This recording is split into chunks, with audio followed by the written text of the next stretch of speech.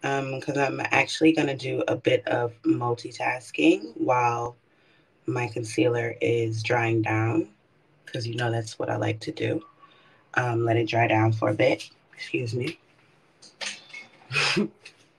and so I'm going to mix two concealers. And while that's drying down, I'm going to put my mascara on. So do that there, here, here.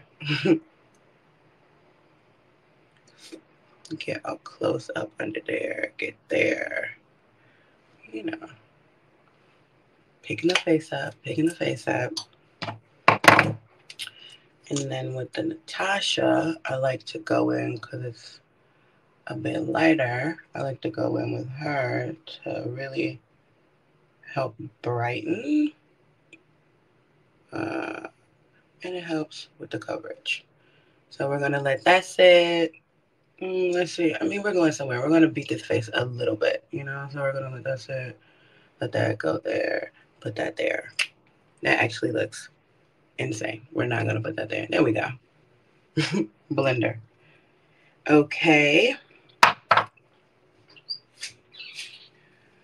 And while that does its thing,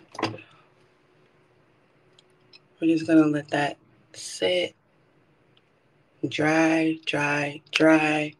And while my liquid concealer dries down, I'm gonna blend it out. So we're gonna come back to the concealer. But for now,